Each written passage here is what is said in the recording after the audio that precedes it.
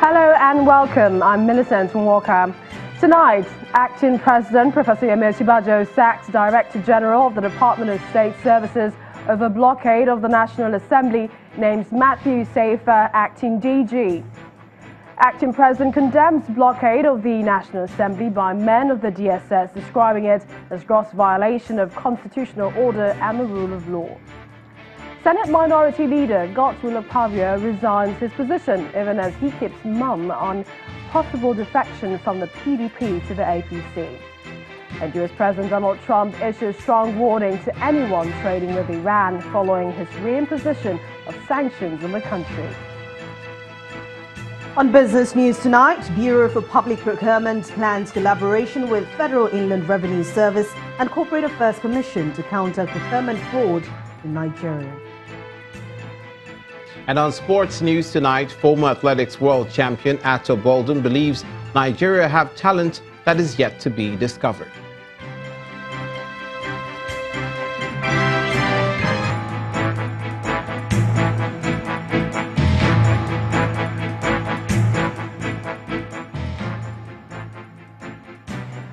Tonight with the sack of the Director General of the Department of State Services, DSS, by the acting President, Professor Yemi Osinbajo, following the blockade of the National Assembly complex by officers under his watch. Professor Osinbajo ordered the termination of Mr. Daura's appointment with immediate effect and also asked him to hand over to the most senior officer in the security service. The sacking of the DSS boss follows the standoff at the National Assembly, where operatives of the Secret Service prevented federal lawmakers from gaining entry into the Assembly. It also comes after Mr. Daura had a closed-door meeting with the Vice President and the Inspector General of Police, Mr. Ibrahim Idris. Meanwhile, Mr. Matthew Seiyefa has been named the Acting Director General of the DSS. Before his appointment, he was in charge of the DSS training school.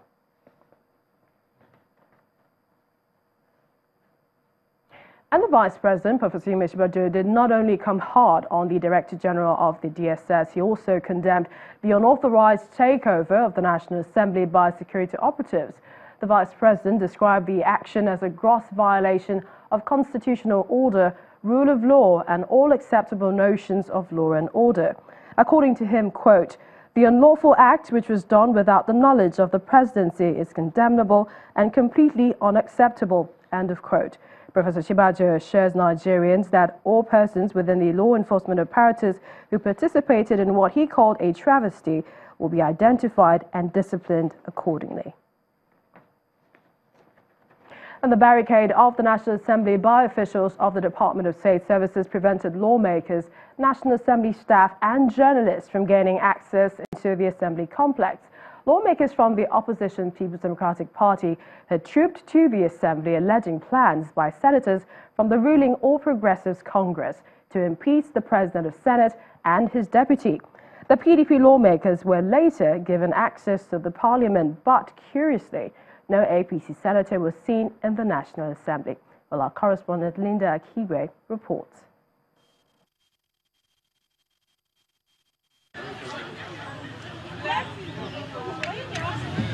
This is the National Assembly of the Federal Republic of Nigeria. And this is the site that greeted National Assembly staff and lawmakers on Tuesday morning. Armed officials of the Department of State Services barricaded the gate of the National Assembly complex, preventing lawmakers, workers and journalists from gaining access into the assembly.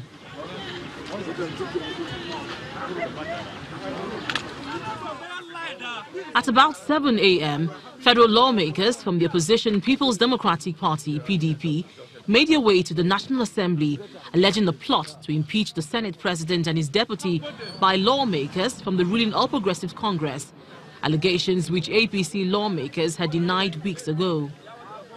Interestingly, no APC senator is present here. These lawmakers are from the PDP and they insist that they must be allowed to enter into the National Assembly. Shut them! This is not about APC, this is not about PDP. This is Nigeria versus Muhammadu Buhari. Enough of this coming from the actual police. People are being assassinated every day.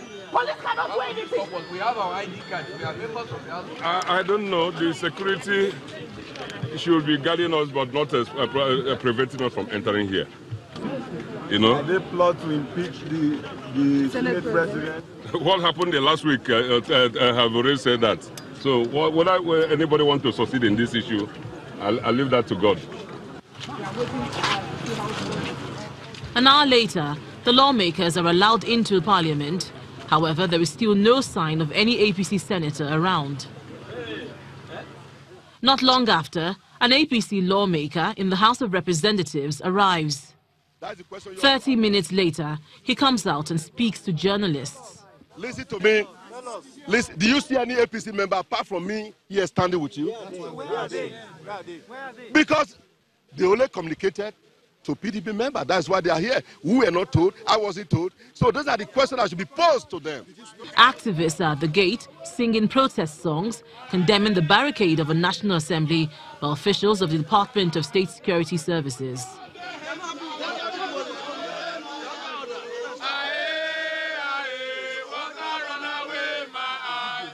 The clerk of the National Assembly arrives, but he refuses to enter into the assembly complex without his staff. Where staffs are here and they cannot go in. Even if I'm asked to go in, am I going to walk alone in the office there? No, sir.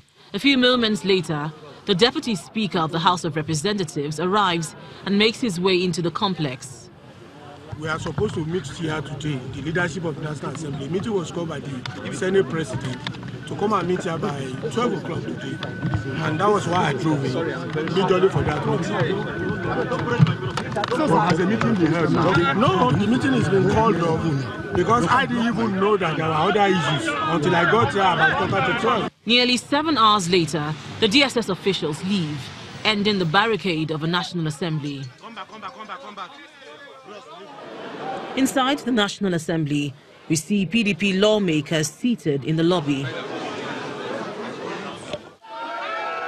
Suddenly, the Senate president emerges.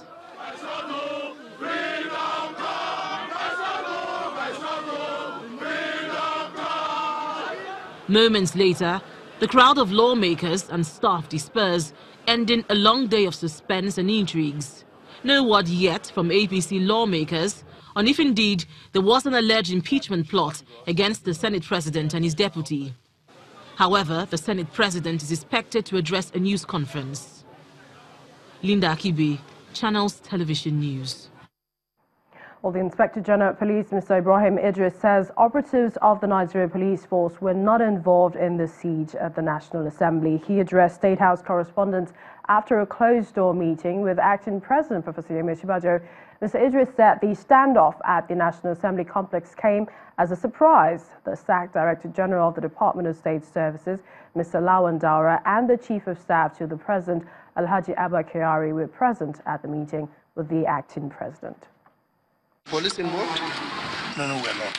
The found to me is, is, a surprise to me. You know. But they said they got orders from above, so why is it a surprise who, to you? Who said? I mean, that's what we heard. I don't know. I don't know who said it, but like I said, police are not involved saying with activities at the National Assembly, it's not the first time lawmakers were prevented from entering the National Assembly. In 2014, lawmakers were barred by security operatives from entering the National Assembly on the first day of plenary following the defection of the then Speaker, Mr. Aminu Tambuwal. Federal lawmakers forced their way into Parliament by scaling the gate.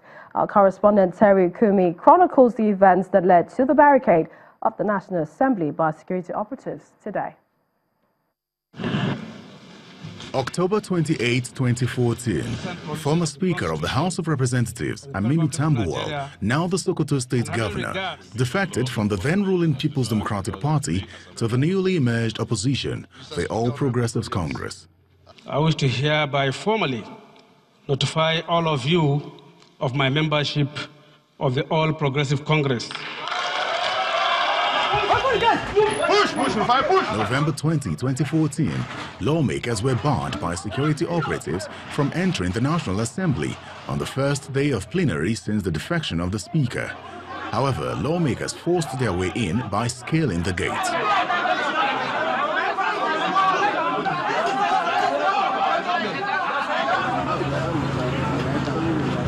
Fast forward to 2018.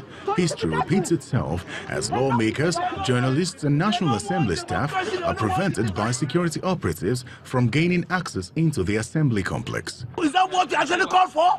Do you call for this kind of a change? Many trace the genesis of today's incident to the day when over 50 federal lawmakers from both chambers defected from the ruling APC to the PDP. After due consultation with our constituents and stakeholders in our constituency, in proper recognition of Section 681G of the 19th Constitution as amended, and for the fact of our party, the All Progressives, is hereby majority faction, we hereby inform the Senate that we, the undersigned, changing our political affiliation from the All Progressive Congress to the People's Democratic Party. The House of Representatives, sponsored by the All Progressive Congress, APC, wish to notify you of the change of our political party from APC to the People's Democratic Party. After that defection, the National Assembly proceeded on a long recess. Several meetings between the presidency and the Senate president did not stop Dr. Bukola Saraki from announcing his defection to the PDP on the 24th of July 2018. This sparked several reactions from the APC, including calls for him to resign his post as the Senate president. If, for your personal reasons, which he has enumerated, we don't need to debate them, you have chosen to go to another family, it is just a matter of honor that you leave the crown uh, in the house uh, that the crown belongs to. What followed were a series of meetings among lawmakers on the platform of the APC and the presidency, prompting allegations and denials over plans to remove the Senate president and the deputy Senate president. And then, on Tuesday, August 7, a day the leadership of the National Assembly was meant to hold an emergency meeting, lawmakers, staff of the National Assembly and journalists arrived the National Assembly to be met by hood-wearing security operatives who prevented everyone from gaining access into the complex. Terry Ikumi, Channels Television News. But the turbulence in the National Assembly did not cover up the story of defections which has rocked the country's political circle in recent weeks. With the latest coming from the Senate Minority Leader, Godswill Akpabio, who resigned his position in the upper legislative chamber today. In a letter addressed to the Deputy Senate Minority Leader, Senator Akpabio states, quote, this letter is to formally inform you of my resignation as the Senate Minority Leader with effect from August the 4th, 2018. Let me thank the Senate minority leadership, our distinguished colleagues, and our great party, the PDP, for the opportunity to lead the caucus in the last three years. End of quote. Senator Akpabio's resignation appears to confirm speculations of his plans to defect from the opposition People's Democratic Party, but he did not mention that in his letter. It also comes after his meeting with the president in London on Sunday and the APC national leader Bola Tinubu yesterday during which issues about his impending defection are believed to have been discussed. Well, we also hear that some governors under the platform of the People's Democratic Party, PDP, have described uh, the blockade of the National Assembly by the DSS as a joke capable of making Nigeria the laughing stock of the world. Governor Samuel Ortom of Benue State, in a statement, wondered why the ruling party would want to prosecute its defecting members. Governor Nyesom Wike, on his part, believes the blockade is a plot to impeach the Senate president and the deputy. They always use security to go and perpetrate evil. They don't have the numbers. How? Everybody knows the answer is to impeach Bukola Saraki and the Ekweremadu. That is the truth of the matter. Why do you want to impeach Saraki? For sake, why? People forget history. Tambuwal was speaker. When he was in PDP, he decamped to APC. He never resigned as speaker. I'm sure that time, even the, the president president acknowledged. I heard him. So what's the difference now? In part two, after the break, we'll take a look at reactions trailing the blockade of the National Assembly complex by officials of the Department of State Services. And we'll be joined by a senior advocate of Nigeria, Dele Adesina. We'll also be joined by a member of the National Assembly, Senator Chukwuka Utazi.